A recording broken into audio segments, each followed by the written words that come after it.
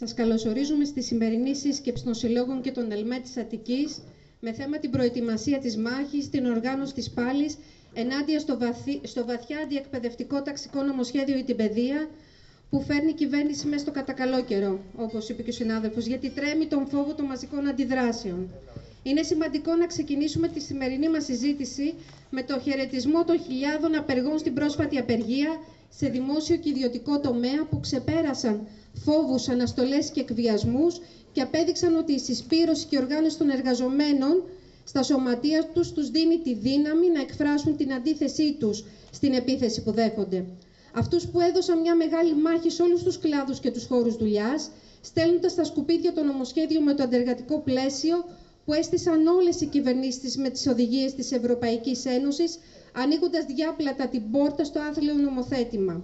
Ιδιαίτερο χαιρετισμό απευθύνουμε στις συναδέλφισες και συναδέλφους αναπληρωτές που απήργησαν μαζικά δίπλα στους μόνιμους και όλοι μαζί στείλαμε μήνυμα ότι δεν συμβιβαζόμαστε με τις ελαστικές σχέσεις εργασίας με τα 10 ώρα και 12 ώρα και το καμτάμαυρο εργασιακό μέλλον.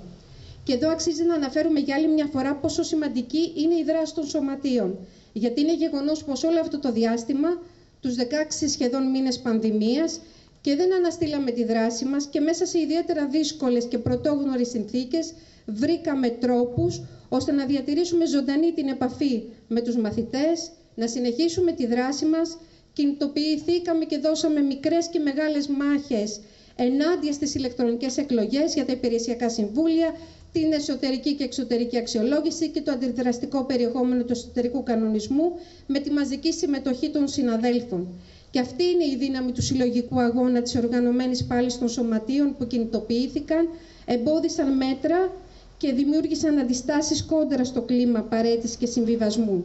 Αναδείξαμε την ανάγκη για συντονισμό της δράσης με τα σωματεία και τους μαζικούς φορείς αναδήμο, με τα σωματεία των εργαζομένων, συλλόγους και ενώσεις γονέων για τη μαζική καταδίκη της αστυνομικής βίας, για τη λήψη μέτρων ενάντια στην πανδημία, για τη λειτουργία των σχολείων, των νοσοκομείων κλπ. Δώσαμε μια σημαντική μάχη για να πάρθουν απεργιακές αποφάσεις σε ΔΟΕ, Ολμέα, ΔΕΔΗ για την Πρωτομαγιά, στις 10 Ιουνίου, στις 16 Ιουνίου του 2021, αλλά και για τη μαζική απεργιακή συμμετοχή των συναδέλφων, προσπερνώντας τις τρικλοποδιές και εκφράζοντας την καθολική απόρριψη του νομοσχεδίου. Συνάδελφοι, όμως δεν εφησυχάζουμε. Χρειάζεται να πάρουμε από τώρα όλα τα αναγκαία μέτρα, ώστε να βρεθούμε πανέτοιμοι το επόμενο διάστημα που θα κλιμακωθεί η αντεργατική πολιτική, πρώτον μετά την ψήφιση του, του νέου αντεργατικού νομοθετικού εκτρώματος, με τη νέα αντιασφαλιστική νομοθετική ρύθμιση και τρίτον με την αντιεκπαιδευτική νομοθετική επίθεση. Γιατί η κυβέρνηση και το Υπουργείο Παιδείας κλιμακώνουν την επίθεσή τους στα μορφωτικά δικαιώματα των μαθητών και τα εργασιακά των εκπαιδευτικών, αφού προσπάθησαν να συκοφαντήσουν τον αγώνα μας με αφορμή τη διαδικασία των πανελλαδικών εξετάσεων, έρχονται σαν τον κλέφτη, με κλειστά σχολεία. Χαρακτηριστικό την υποκροματοδότηση τις συγχωνεύσεις και την αυτόνομη λειτουργία του χωρίς μόνιμο προσωπικό στο σύνολό του με 60.000 συμβασιούχους για το νέο σχολικό έτος. Το νομοσχέδιο είναι αιτία πολέμου. Είναι κόκκινο πανί για τα μορφωτικά δικαιώματα των νέων ανθρώπων. Δεν πρέπει να περάσει, πρέπει να μείνει στα χαρτιά. Τα εκπαιδευτικά σωματεία έχουμε τεράστια δύναμη στα χέρια μας και δεν είμαστε έρμεα στις επιλογές τους, καθώς στον κλάδο μας έχουμε παραδείγματα ακύρωσης στην πράξη των κυβερνητικών αντιεκπαιδευτικών σχεδιασμών. Έχουμε δώσει ήδη απάντηση πέντε φορές στην κυβέρνηση και στο Υπουργείο. Ηλεκτρονικές εκλογές, αξιολόγηση, κάμερες στην τάξη, τηλεαπουσίες, επέκταση ωραρίων νηπιαγωγών. Το ίδιο θα κάνουμε και τώρα και αυτό η κυβέρνηση το γνωρίζει. Το επόμενο διάστημα πρέπει να γίνει συστηματική ενημέρωση του λαού, συντονισμός της δράσης του εκπαιδευτικού γονεϊκού και εργατικού κινήματος, καθώς η κυβέρνηση και το Υπουργείο δεν είναι απλά εκτός πραγματικότητας. Έχουν κάνει πολιτική επιλογή να συνεχίσουν στον δρόμο της υλοποίησης μιας πολιτικής που απορρίπτεται καθημερινά από τον κλάδο των εκπαιδευτικών. Ακόμα και σε αυτή τη συγκυρία, μετά από όσα έχουμε τραβήξει, εκπαιδευτικοί μαθητές και οικογένειές τους, το Υπουργείο συνεχίζει να δίνει καταστροφικά χτυπήματα στην εκπαίδευση, αδιαφορώντας για τη μορφωτική, ψυχοσυναισθηματική και κοινωνική κατάσταση στην οποία έχουν περιέλθει οι μαθητές και αδιαφορώντας τι έχουν περάσει εκπαιδευτικοί όλο αυτό το διάστημα. Άλλωστε κάτι τέτοιο αποδείχθηκε και μετά τη συνάντηση της Υπουργού την Τρίτη στις 22 του μήνα με τα διοικητικά συμβούλια των εκπαιδευτικών ομοσπονδιών, κατά, κατά την οποία εξ αρχής απέκλεισε κάθε συζήτηση για το θέμα των μόνιμων διορισμών, το χρονοδιάγραμμα, τις κατανομές, τον αριθμό, γεγονός που αποδεικνύει ότι ο κυβερνητικός σχεδιασμός δεν αφορά την επίλυση των προβλημάτων στην εκπαίδευση που οξύνθηκαν μέσα στην πανδημία, δεν αφορά κανένα σαφές σχέδιο με σκοπό να αναχαιτιστούν οι επιπτώσεις της πανδημίας στα σχολεία. Αντιθέτως, η πολιτική ηγεσία υπερασπίστηκε τα 25 τμήματα, την επιλογή να στεγαστούν ήπια και προνήπια σε κοντέινερς, τις περικοπές στα προγράμματα της δευτεροβάθμιας, την έναρξη της επόμενης σχολικής χρονιάς με μια από τα ίδια, χωρίς μέτρα, ώστε τα σχολεία να μην ξανακλείσουν από Σεπτέμβρη. Αυτό το σχολείο το ξέρει καλά και ο ΣΥΡΙΖΑ, που ανακαλύπτει τώρα επιστροφή στον επιθεωρητισμό και αποτελεί θεμελιώδες κεφάλαιο στην έκθεση αξιολόγηση του εκπαιδευτικού συστήματος που ο ίδιος κάλεσε τον ΩΣΑ να συντάξει για τη χώρα μας. Που αναρωτιέται ποιος θα εφαρμόσει καλύτερα τα εργαστήρια δεξιοτήτων και αυτή την αξιολόγηση που φέρνει η Νέα Δημοκρατία για τους εκπαιδευτικούς είναι αυτή που σχεδίασε ο ίδιος ο Γαβρόβλη. Η εφαρμογή λοιπόν αυτών των σχεδιασμών που προωθούνται από το λόγο νομοσχέδιο διαμορφώνουν ένα ακόμα πιο ταξικό κατηγοριοποιημένο σχολείο και συνιστούν πλήγμα στα μορφωτικά δικαιώματα των μαθητών. Αλλάζουν βασικές πλευρές του σχολείου, ενισχύεται ο κατακαιρματισμός του ενιαίου χαρακτήρα της γνώσης και του σχολικού προγράμματος. Δημιουργείται ένα σφιχτικό πλαίσιο μέσα στο οποίο θα κληθούν να εργαστούν οι εκπαιδευτικοί και μέσω της λεγόμενης ατομικής αξιολόγησης μεταφέρεται η ευθύνη και το κάθε τι στον εκπαιδευτικό. Ο πρώτος άξονας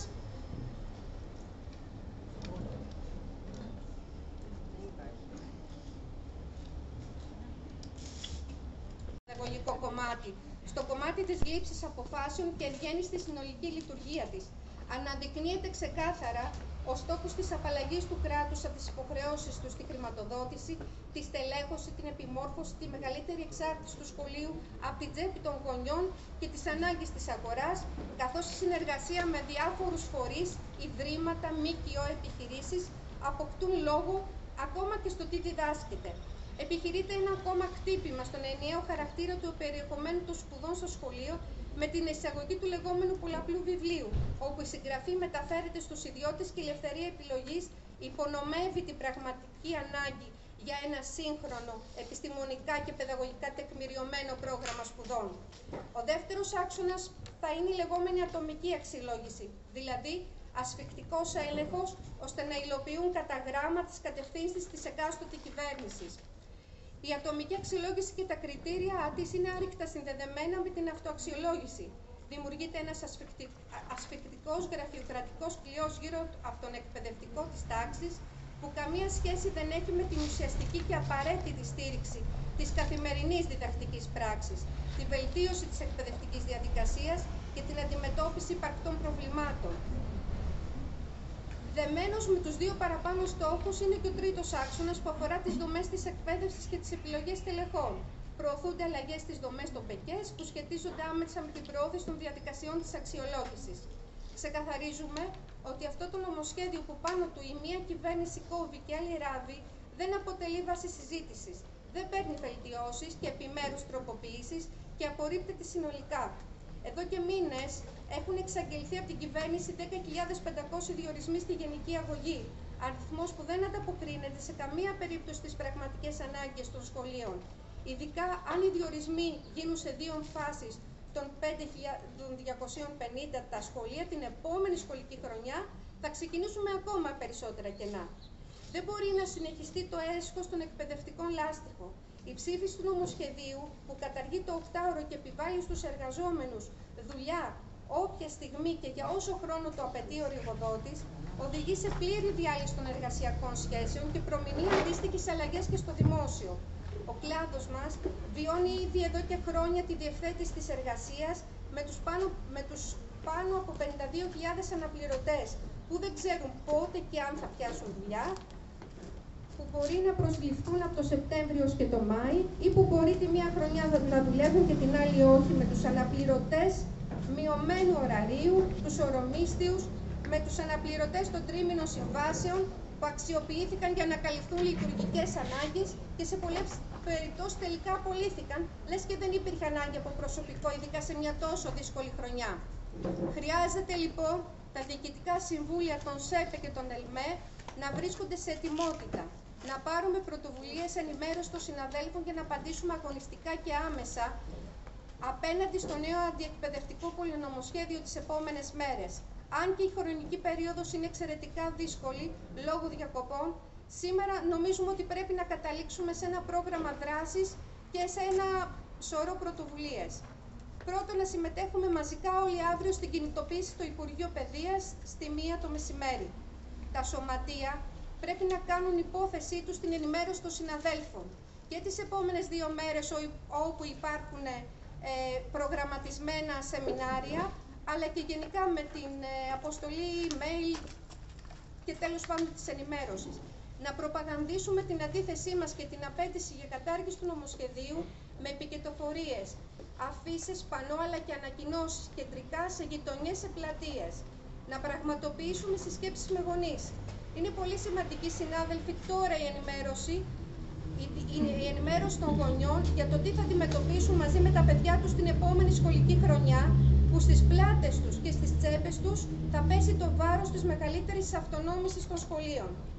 Κινητοποίηση την Τετάρτη 7 Ιουλίου στο κέντρο της Αθήνας και νέα κινητοποίηση στη Βουλή όπου θα ψηφίζεται, όταν θα ψηφίζεται το νομοσχέδιο.